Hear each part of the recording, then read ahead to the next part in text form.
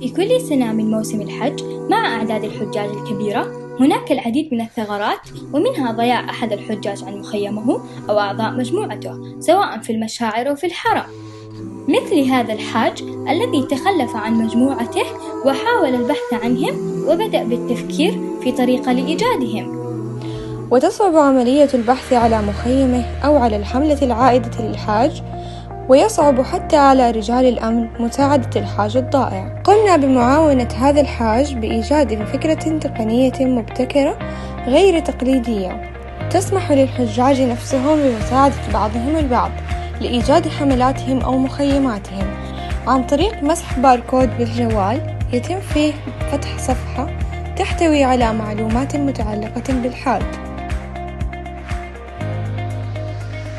ومن ضمن هذه المعلومات رابط مرفق بموقع الحملة الدقيق من بين مئات الحملات وتحتوي الصفحة على قاعدة بيانات بمعلومات الحاج أو المعتمر من بين آلاف المعتمرين. أما في حالة مسح الباركود من قبل رجل أمن يتطلب كلمة سر لفتح صفحة تشمل كافة تفاصيل وبيانات الحاج كرقم الهوية ووقت الوصول والعودة.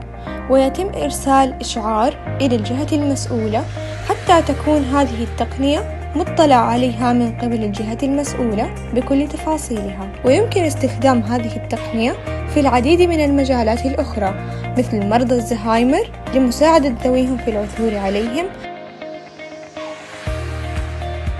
وأيضا مع الأطفال لمساعدة آبائهم في العثور عليهم في حالة الضياع والعديد من الحالات الأخرى.